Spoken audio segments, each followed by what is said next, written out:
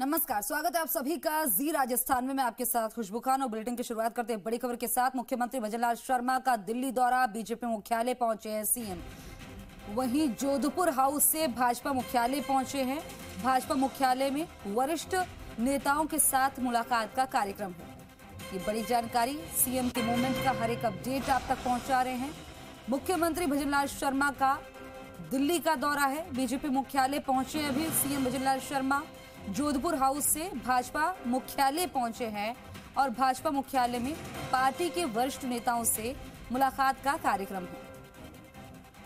तस्वीरें भी आई हैं, आपकी टीवी स्क्रीन पर आपको तस्वीरें दिखा रहे हैं। तो प्रदेश के मुखिया का दौरा दिल्ली में है, काफ़ी अहम दौरा।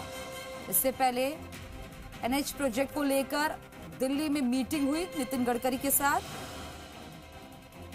वहीं बीजेपी मुख्यालय पहुँचे हैं सीएम भजनलाल शर्मा जोधपुर हाउस से भाजपा मुख्यालय पहुँचे हैं और भाजपा मुख्यालय पर वरिष्ठ नेताओं के साथ मुलाकात का कार्यक्रम है।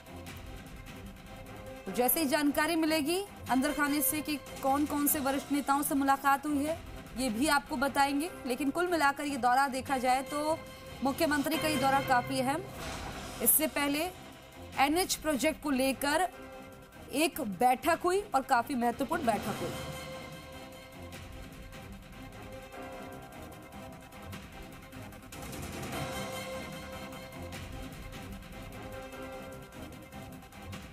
तो जोधपुर हाउस से भाजपा मुख्यालय पहुँचे हैं। यहाँ वरिष्ठ नेताओं से मुलाकात का कार्यक्रम है।